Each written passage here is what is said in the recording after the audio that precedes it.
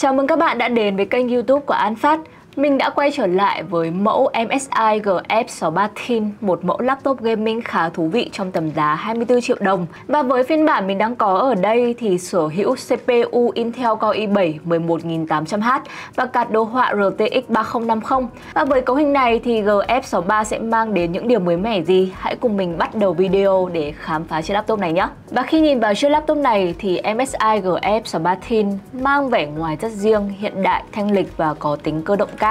Phần mặt lưng của máy thì vẫn giữ nguyên thiết kế xước phay, kết hợp với logo rồng đỏ đặc trưng, mặt dưới với khe thông gió hình chữ X ẩn vô cùng độc đáo, tạo nên sự mạnh mẽ hầm hố cho chiếc laptop này. Cùng với đó là thiết kế tối giản nhưng vẫn cực gaming với duy nhất tông màu đen huyền bí. Và đúng như cái tên GF63 Thin là một chiếc laptop gaming mỏng nhẹ đúng nghĩa, với độ dày chỉ 21.7mm và nặng 1,86 kg. Cân nặng khá là lý tưởng đối với một chiếc máy có kích thước màn hình lớn 15.6 inch. Chất lượng hoàn thiện tốt với một điểm cộng là lớp vỏ của em này là nhôm kim loại nguyên khối, không những vừa cứng cáp mà còn giúp bảo vệ lớp ngoài chống chảy xước cũng như là tuổi thọ cho máy.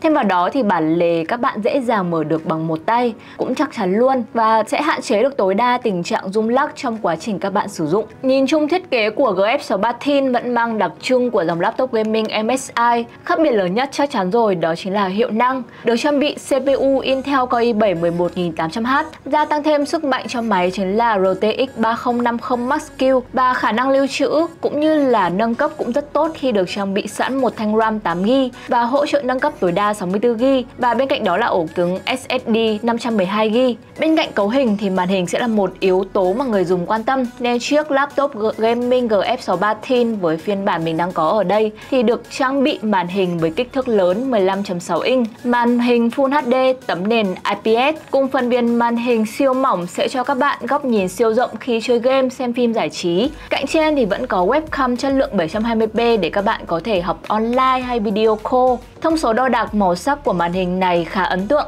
Các bạn có thể chỉnh sửa hình ảnh hay thiết kế đơn giản với độ bao phủ màu lên tới gần 100% sRGB, 72% NTSC.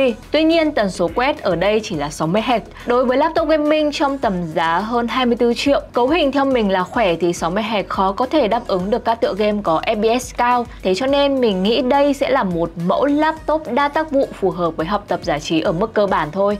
Và ở phía bên dưới sẽ là phần bàn phím với layout quen thuộc, không có cụm phím số, phím cho độ nảy tốt. Tuy nhiên, hành trình phím hơi ngắn một chút. Ngoài ra, bàn phím còn được trang bị LED màu đỏ cực kỳ gaming, phong cách đặc trưng của MSI. Bên cạnh đó là phần trackpad có kích thước vừa phải, cảm giác vuốt khá mượt mà. Ngoài ra thì được đặt hơi lệch về phía bên trái, tạo không gian cho chiếu nghỉ tay bên phải rộng hơn. Và ở đây thì GF63 Thin được trang bị đầy đủ các cổng kết nối cần thiết, bao gồm cổng nguồn, 3 cổng USB Type-A, một cổng HDMI, một cổng mạng LAN RJ45, một cổng USB Type-C và một jack cắm tai nghe, đảm bảo được nhu cầu thiết yếu của người dùng khi kết nối với các thiết bị ngoại vi bên ngoài. Tổng kết lại thì MSI GF63 Thin là một chiếc laptop gaming mỏng nhẹ, giá rẻ so với combo cấu hình quá xịn trong tầm giá 24 triệu chắc chắn sẽ là lựa chọn lý tưởng của nhiều đối tượng